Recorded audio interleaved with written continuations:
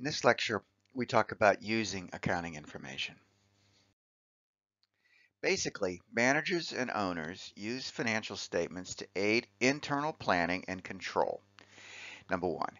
Number two, they use it for external purposes such as reporting to the Internal Revenue Service, stakeholders, stockholders, creditors, customers, employees, and other interested parties. Inside the organization, board, the board of directors sees the, the accounting information, owners, shareholders, managers, management information systems uh, are need this information, business research needs it, internal controls. All of these are uh, users of accounting information that an organization would need internally so that everybody in the different organizations knows what's going on in areas that are relevant to their work responsibilities. In addition, there are, are other groups use, other stakeholders use the information, include uh, tax collecting agencies, special interest groups, customers, etc.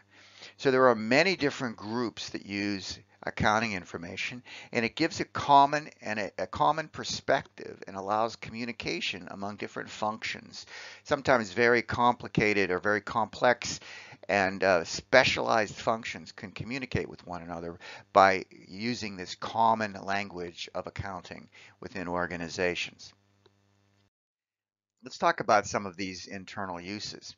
Uh, managerial accounting refers to the internal use of accounting information by managers for planning and directing the organization's activities. Perhaps management's single greatest concern, particularly in smaller companies, is cash flow. This is the movement of money through an organization over a daily, weekly, monthly, yearly basis. It's not uncommon, even for successful companies, to struggle making certain payments because of differences in timing when people are paying you money versus when you have to pay out money. And this is what's uh, what might generate a inadequate cash flow. Even though you're successful, the money isn't there because people still owe you lots of their payments and the like. One common reason for the so-called cash crunch shortfall is poor managerial planning.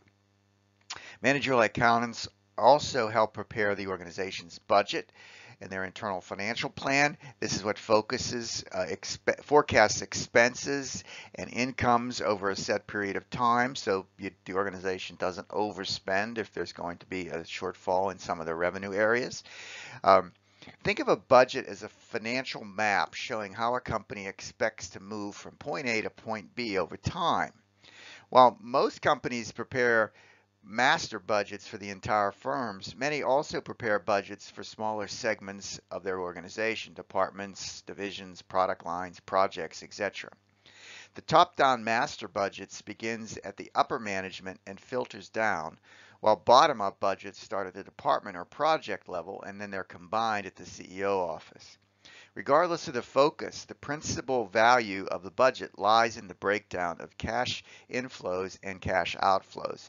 This is the a role that I had with eight, within AT&T at the corporate level of managing the the budgeted and financial planning process for the firm. It's a um, it's a very important function that allows the organization to make sure that it has adequate resources and that they're used in in efficient ways. There's also external uses of accounting information. Managers use accounting statements to report the business's financial performance to outsiders. Uh, these are financial statements. They're called such financial statements can be used for income taxes, for obtaining credit or lenders, uh, for reporting results to shareholders and stockholders.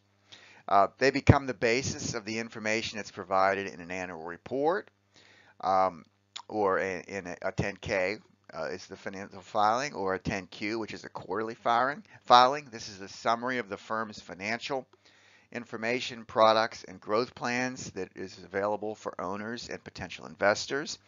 The single most important component of the annual report is the signature of the certified public accountant, attesting that the required statements are accurate and are an accurate reflection of the underlying financial conditions of the firm. That's why you need an independent third party, which is the role that financial that public accountants play. Financial statements meeting these conditions are called audited. the uh, public accountants come in from the outside, they look through the books, they verify the transactions, and they say this does indeed reflect the uh, internal conditions of the of the business.